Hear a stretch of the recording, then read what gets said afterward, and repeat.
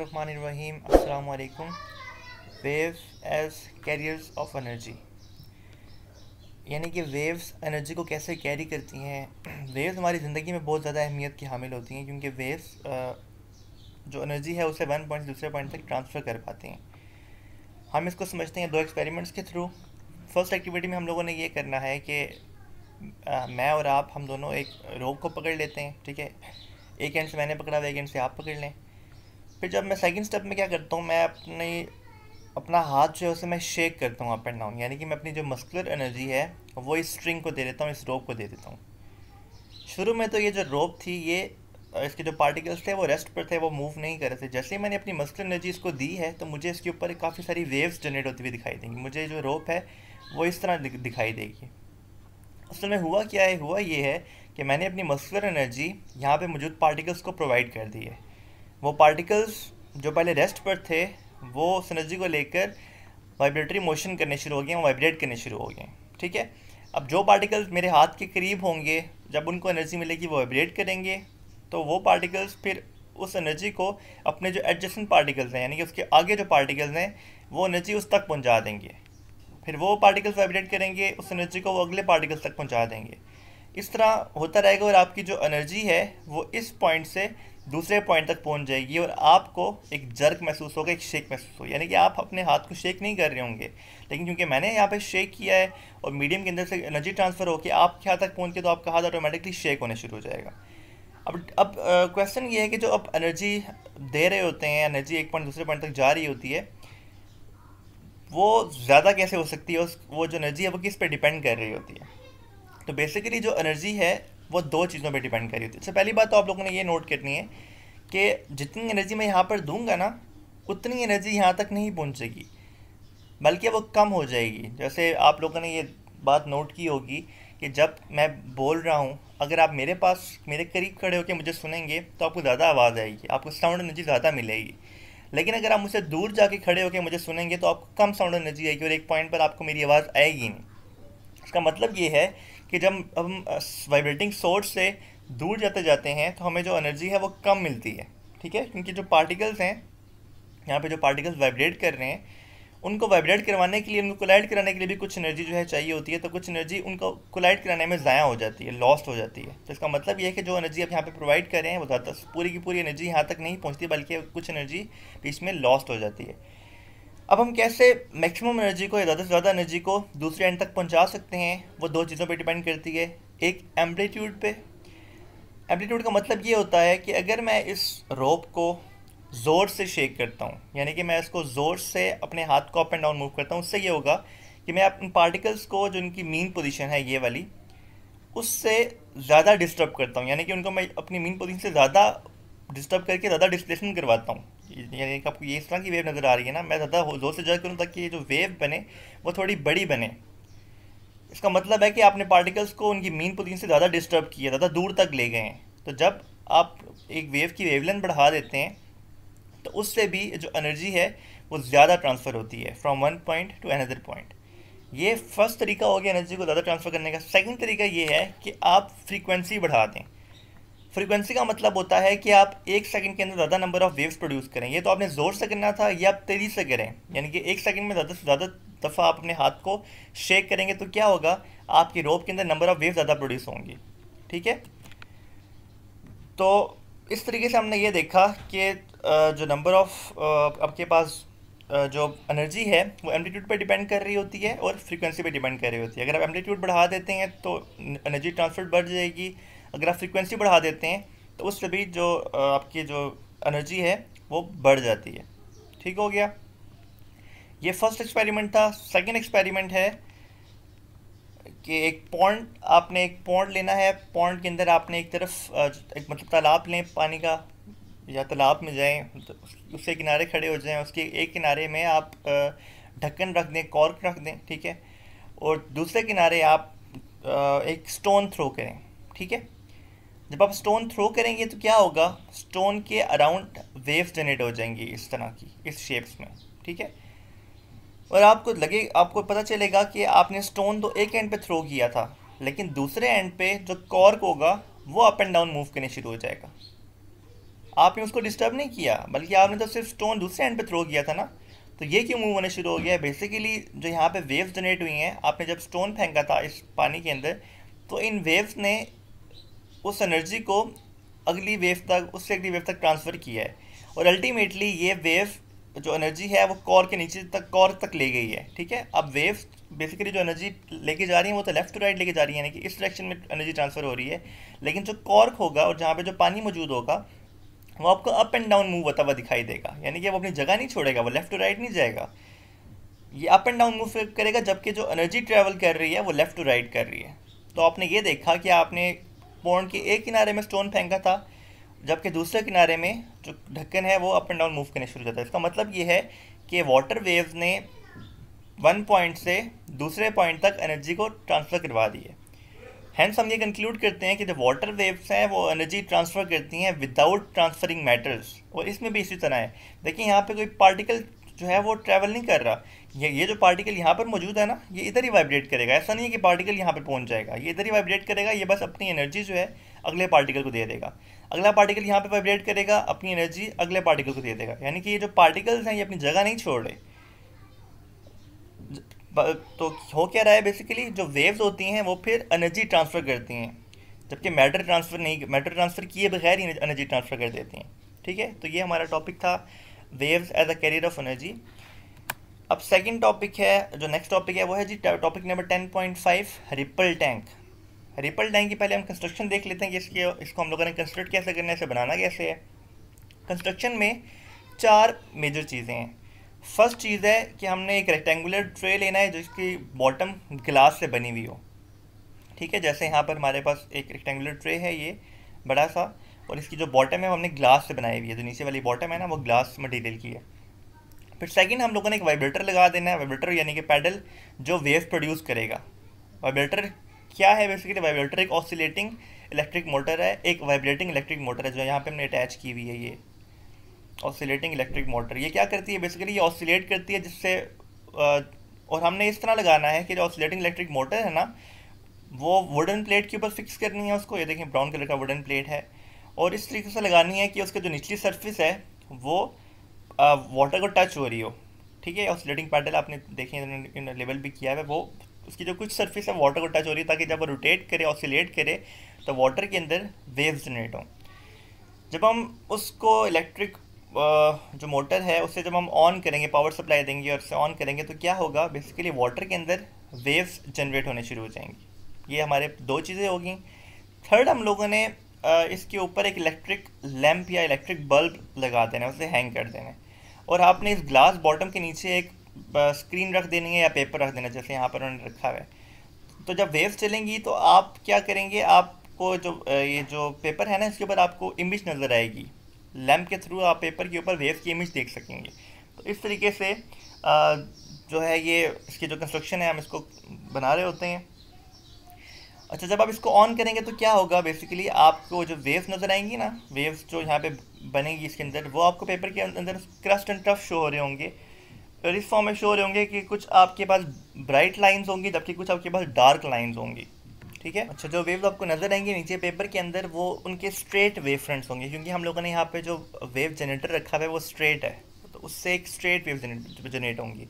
और पेपर के अंदर आपको क्रस्ट और ट्रस्ट नज़र आएँगे, जैसे मैं इसको आपको ड्रॉ करके भी बता देता हूँ। आपको कुछ इस तरह से इमेज नज़र आएगी। ये आपका अगर पेपर है तो ये आपके पास स्ट्रेट वेव फ्रंट्स होंगे इस तरीके से। ये स्ट्रेट वेव फ्रंट्स आपको इस तरह वेव्स के जो है ना, आपको नज़र आ रही होंगी। ठीक है? कुछ डार्क हैं। अब ये जो मैंने रेड लाइन ड्रॉ किया, आप समझेंगे डार्क वेव्स हैं और डार्क हैं और जो आपके पास पीस, जो ब्लैंक जगह है, वो आपके पास लाइट है। ठीक है? और यहाँ से लेके यहाँ तक जो डिस्टेंस होगा, वो लेमडा कहलाएगा। यानी कि एक क्रस्ट से लेके दूसरे क्रस्ट तक। तो आप समझें, जो ब्राइट इमेजेस हैं, वो क्रस्ट हैं, जबकि जो डार्क हैं, वो आपके पास ट्रस्ट हैं। तो इस तरीके से आपको पेपर के ऊपर जो वेव्स की इमेजेस हैं, वो शो हो रही होंगी, ठीक है? अब नेक्स्ट हम लोग क्या करते हैं? नेक्स्ट हम इन्हीं वो जो वाटर वेस्ट प्रोड्यूस हो रही हैं, इसी वाटर ट्रे के अंदर, ये रेक्टेंगुलर ट्रे के अंदर, हम एक बैरियर रख देते हैं। ठीक है जी? क्या करना है हमने? बैरियर रख देना है, ठीक है? अब अगर मैं वाटर वेव्स के सामने कोई बैरियर रखूँगा तो क्या होगा? वाटर वेव्स उस बैरियर के साथ टकरा कर रिफ्लेक्ट कर जाएँगी, ठीक है? अब अगर मैं उन, उस बैरियर को किसी एंगल पर रखता हूँ, यानी कि स्ट्रेट नहीं रखता मतलब मैंने अगर देखें फ़र्स्ट केस में मुझे बैरियर को ऐसे रखना है स्ट्रेट मैं स्ट्रेट रखूँगा तो वाटर वेव्स आएँगी, यहाँ पर टकराएँगी और रिफ्लेक्ट कर जाएँगी।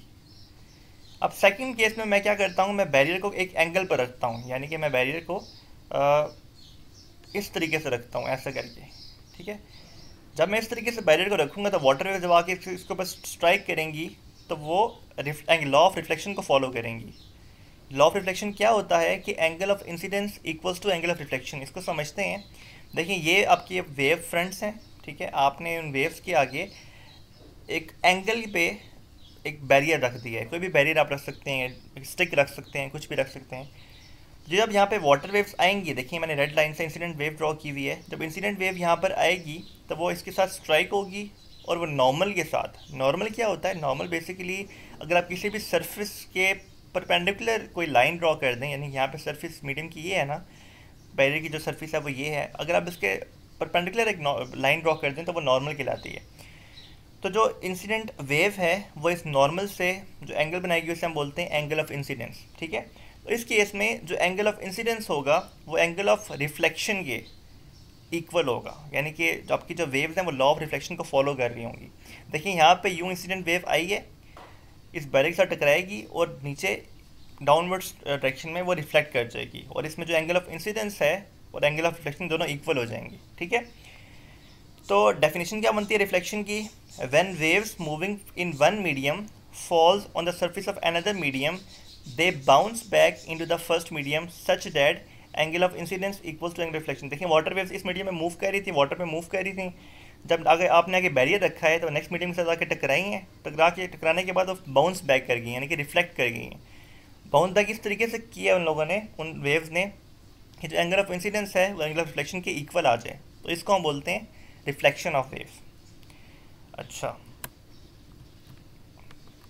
अब नेक्स्ट है जी आ, हमने एक रिपल टैंक मतलब उसी रिपल टैंक के अंदर हमने एक ब्लॉक को सबमर्ज कर देना है, ठीक है? जब हम ब्लॉक को सबमर्ज करेंगे ना तो जो ब्लॉक के ऊपर पानी होगा, ब्लॉक का मतलब है आप कोई भी चीज़ रेक्टेंगुलर कोई ब्लॉक रखते हैं या कुछ भी रखते हैं तो उसके ऊपर जो पानी आएगा ना, वो शेलो वाटर होगा। आपके जो बाकी सारी जगहों पर पानी डीप होगा, क्योंकि आपको पता है, जब आप ब्लॉक रखेंगे तो कम हाइट हो जाएगी ना तो उसके ऊपर जो पानी आएगा वो शेलो वाटर होगा, क्योंकि थोड़ा सा ही पानी होगा उसके ऊपर तो हम कहेंगे वो शेलो वाटर यानी कि उसकी डेप्थ कम है।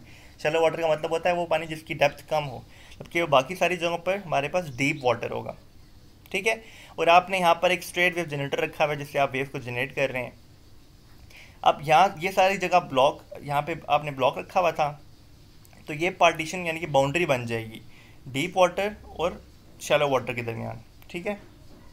अब जब यहाँ से आप वेव्स जनरेट कर रहे हैं तो ये वेव्स जो हैं, यूँ ट्रैवल कर रही हैं, ये वेव है, फिर ये वेव है, फिर आगे आपके पास बाउंड्री आ जाती है, फिर ये वेव जनरेट हुई हैं। अब क्योंकि ये शेलो वाटर है और ये डीप वाटर है तो आपने ये नोट करना है। हम लोग ये देखने चाह रहे हैं कि जो वाटर वेव की जो स्पीड है, जब वो डीप वाटर शेलो वाटर में जाती हैं तो उनके ऊपर क्या इफ़ेक्ट पड़ता है? बेसिकली जो स्पीड ऑफ़ वेव्स है ना, वो बहुत मीडियम की बहुत सारे प्रॉपर्टीज़ के ऊपर डिपेंड कर रही होती हैं। जिनमें से एक property depth of the medium है। यहाँ पे हम वाटर यूज़ कर रहे थे वाटर की डेप्थ कितनी है, उसके ऊपर speed of the wave depend कर रही होती है। जितनी ज़्यादा वाटर की डेप्थ होगी, उतना ज़्यादा वेव की स्पीड होगी। यानी कि जो अगर हम डीप वाटर की बात करें तो यहाँ पर वेव की जो स्पीड है, वो हाइएस्ट होगी, यानी कि वो मैक्सिमम होगी। और यहाँ पर जो शैलो वाटर है, यानी कि वाटर की डेप्थ कम है तो यहाँ पर वाटर की स्पीड कम होगी लो होगी। इसी तरह जिस तरीके से वाटर की स्पीड चेंज हो रही है, इसी तरीके से वाटर वेव्स की वेव लेंथ भी चेंज होगी। देखिए, यहाँ पर जो वाटर वेव्स की वेव लेंथ है, वो लेमडा वन है। देखिए, वो यहाँ से यहाँ तक है। वेव लेंथ ज़्यादा है। जैसे ही वाटर वेव्स इस बाउंड्री को क्रॉस करके शेलो वाटर तक जाएँगी तो आपकी जो वाटर वेव फ्रंट्स है, वो दूसरे के करीब करीब आ गए तो यहाँ पर जो वेव लेंथ है, वो लेमडा टू आपको मैंने शो की हुई है। वो देखें कितनी थोड़ी है। इसका मतलब ये है कि जब पानी डीप वाटर से शेलो वाटर की तरफ़ ट्रांसफ़र होता है तो ना सिर्फ़ उसकी स्पीड कम हो जाती है, बल्कि उसकी वेव लेंथ भी कम हो जाती है। लेकिन जो फ्रीक्वेंसी है वो सेम रहती है। क्यों? क्योंकि आपने पीछे एक इलेक्ट्रिक मोटर टेस्ट की हुई है जो जिसका टाइम पीरियड सेम है वो एक सेकंड में उतनी जो है ना वेव्स को जनरेट कर रही है। तो आपकी फ्रीक्वेंसी सेम रहती है जबकि स्पीड और वेव लेंथ वो चेंज हो जाती है। ठीक है? अब हम नेक्स्ट ये करते हैं कि हम आ, वो जो आपके पास ब्लॉक है उससे हम एक आ, उस पर रख देते हैं क्या नाम है एंगल पे रख देते हैं। यानी कि हमने जो बीच में बाउंड्री बनाई है उसे हम एक एंगल पे बना देते हैं। ये तो हमने स्ट्रेट रखी हुई थी ना, ऐसे स्ट्रेट ब्लॉक रखा हुआ था। यहाँ पे हम बाउंड्री को एंगल पे रखते हैं। बाउंड्री एंगल पे रखेंगे तो क्या होगा? ये आपका डीप वाटर मैंने शो किया, ये सारा डीप वाटर हो जाएगा और ये शैलो वाटर हो जाएगा। अब जो यहाँ से वाटर वेव्स आएँगी, ये जो वाटर वेव्स आ रही हैं, ये इस बाउंड्री पर टकराने के बाद अपनी ओरिजिनल पोजीशन से डाइवर्ट हो जाएँगी, यानी कि वो रिफ्लेक्ट हो जाएँगी। अपनी जो डायरेक्शन है उसे चेंज कर देंगी। ठीक है? इस केस में देखिए, आपके पास ये रिफ्लेक्शन है, ये उसका वेव लेंथ है, और उसके बाद भी जो आपकी जो जो वेव्स हैं, वो करीब करीब होती जा रही हैं। यानी कि डीप वाटर में वेव लेंथ ज़्यादा है, और जब वो दूसरे मीडियम में शेलो वाटर में आती है, उनकी जो वेव लेंथ है, वो कम हो जाती है बात हमें पता है। और सेकेंडली यहाँ पर देखें, जो आपके एंगल ऑफ़ इंसिडेंस है, ये जो वेव है, ये यूँ आ रही है, और ये यूँ जो है रिफ्लेक्ट कर रही है, इस तरीके से। आपने यहाँ पर एक बात नोट करनी है, ये जो डायरेक्शन ऑफ़ प्रोपगेशन है, यानी कि ये इंसिडेंट वेव जो है ना, ये जो ब्लैक कलर की मैंने लाइन ड्रॉ की हुई आपकी इंसिडेंट वेव है। ये जब इस मीडियम पे आगे स्ट्राइक करती है बाउंड्री एच के बाउंड्री के साथ किसी एंगल पे तो क्या होगा, वो रिफ्लेक्ट करेगी। और जब के पास ये जो वेव बनी है ना, यानी कि आपने ये नोट करना है कि यहाँ पर देखें वेव फ्रंट स्ट्रेट है। इस केस में ये जो वेव आ रही है, ये इन वेव फ्रंट्स के परपेंडिकुलर है। यानी कि ये देखें, ये वर्टिकल आपने ड्रॉ किए वेव फ्रंट्स और यहाँ पे जो वेव है, वो उसकी हॉरिजेंटल है। दोनों एंगल दोनों पे जो एंगल है, वो नाइन्टी डिग्री का है। यहाँ पर आपकी जो वेव्स हैं, वो रिफ्लेक्ट कर गई हैं, लेकिन उसके बावजूद जो यहाँ पे रिफ्लेक्टेड वे है वेव है, ये इनके परपेंडिकुलर ही रहेगी। तो इसका मतलब ये है कि जो डायरेक्शन ऑफ़ प्रोपगेशन होगी that would always be normal to wave fronts ठीक है प्रोपगेशन जो वेव की प्रोपगेशन हो रही है, वो इन वेव फ्रंट्स के परपेंडिकुलर है, यानी कि नॉर्मल है। तो रिफ्लेक्शन क्या होती है फिर? When a wave from one medium यहाँ पे देखें डीप वाटर से जब एक वेव इंटर होती है सेकेंड मीडियम में, जो कि यहाँ पे अपनी बाउंड्री रखी हुई है शेलो वाटर में जा रही है तो वो उसकी सम एंगल पे वो जो है इंटर होती है, क्योंकि अपने बाउंड्री को एंगल पे रखा हुआ है। डायरेक्शन ऑफ़ ट्रैवल चेंजेस तो डायरेक्शन ऑफ़ ट्रैवल जो होती है वो चेंज हो जाती है। अब उस, उसी डायरेक्शन में मूव नहीं करेगी, बल्कि उसकी जो डायरेक्शन है वो चेंज हो जाएगी। इसको आप क्या बोलते हैं? डेफिनेशन ऑफ़ रिफ्लेक्शन है, इसको आप रिफ्लेक्शन बोलते हैं। नेक्स्ट जो कंसेप्ट है वो डायफ्लेक्शन का है। इसमें हमने क्या करना है? रिपल टैंक के अंदर जो हमने वेव जनरेट की हुई हैं स्ट्रेट वेव जनरेटर से, हमने उसके आगे वेव्स के आगे दो ऑब्स्टिकल्स रख देने ठीक है? मैंने दो ऑब्स्टिकल्स रख दिए हैं। और इन दो ऑब्स्टिकल्स के दरमियान, इनको ऑब्स्टिकल्स भी बोल सकते हैं, आप स्ट्रेट भी बोल सकते हैं। इनके दरमियान जो गैप होगा वो आपने इतना रखना है जितनी आपकी वेव्स के दरमियान वेव लेंथ है। यानी कि इन दोनों का जो वेव लेंथ और जो बीच में गैप है, वो कंपेरेबल हो। मतलब मिलता जुलता हो, ठीक है? तो उस केस में क्या होगा, जब आपकी वेव्स इस स्टेट के जो गैप में से गुजरेंगी तो वो बेंड हो जाएँगी। वो डायफेक्ट हो जाएँगी। बेंड होने का मतलब ये है कि वो यहाँ पे बेंड होके पूरे तमाम जो आपका जगह है, वहाँ पर स्प्रेड कर जाएँगी। और इनकी जो जो शेप है, पहले तो वो स्ट्रेट थी ना, वो स्ट्रेट नहीं रहेगी, बल्कि उनका सेमी सर्कुलर पैटर्न बन जाएगा। देखिए सेमी सर्कल बना रहा है हाफ़ सर्कल बना रहा है। तो ये हाफ़ सर्कल बन जाएँगी, ठीक है? अब सेकेंड हम ये करते हैं कि हम जो जो स्लिट्स हैं, उनका हम गैप बढ़ा देते हैं। देखिए, हमने यहाँ पर गैप बहुत ज़्यादा रखा हुआ है। जब हम गैप बढ़ाएँगे तो जो आपकी, जो वेव्स बेंड हो रही थी, वो अब कम बेंड होंगी। उसका मतलब ये है कि जब आप स्लिट्स का गैप कम करेंगे तो वेव ज़्यादा बैंड करेंगी। अगर आप स्लिट का गैप ज़्यादा करेंगे तो वेव्स कम कम बैंड करेंगी वो कम स्प्रेड होंगी। तो डायफ्रेक्शन क्या होती है फिर? द बेंडिंग और spreading of waves around sharp edges और कॉर्नर्स ऑफ़ ऑब्स्टिकल्स और स्लिट इज़ कॉल्ड डायफ्रेक्शन यानी कि जो वेव्स की बेंडिंग या स्प्रेडिंग किसके अराउंड ये जो स्लिट है, इसके कॉर्नर्स के अराउंड या इसके गैप के अराउंड उसे हम डायफ्रेक्शन बोलते हैं। तो हमारा आज का टॉपिक कंप्लीट हो गया है। चैप्टर नंबर टेन हमने कंप्लीट कर लिया है। अगर आपको पूरा चैप्टर नंबर टेन में कोई भी मिस्टेक कोई भी क्वेश्चन आपको मिलता है, हमने इसकी एक्सरसाइज भी कर ली है और क्वेश्चन आंसर्स भी किए हैं कंसेप्चुअल क्वेश्चन भी कर लिए हैं न्यूमेरिकल्स भी कर लिए हैं। अगर आपको किसी भी टॉपिक में कोई भी कन्फ्यूज़न है, कोई भी मसला है तो आप कॉमेंट सेक्शन में पूछ सकते हैं। अपना ढेर सारा ख्याल रखिएगा।